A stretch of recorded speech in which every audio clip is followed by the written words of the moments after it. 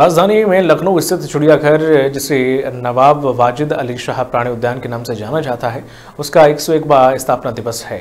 स्थापना दिवस के अवसर पर कई कार्यक्रमों का आयोजन किया गया, जिसमें वन मंत्री अरुण कुमार ने शिरकत की और कार्यक्रम के आयोजन में नवाब वाजिद अली शाह प्राणी उद्यान के इतिहास पर चर्चा हुई, जिसमें चिड़ियाघर में विशेष योगदान देने वालों को सम्मानित भी किया गया।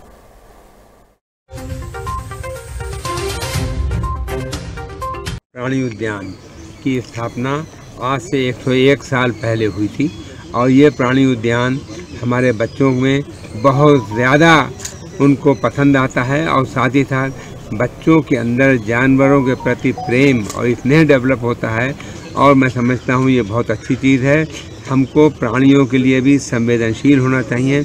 आज इस जू में एक फ़ीमेल सफ़ेद बागन तमिलनाडु से लाई गई है और जिसको आज हमने उसके बारे में छोड़ा है। कुछ दिन इसको एक्लिमेटाइज करने के लिए अभी यहीं रखा जाएगा।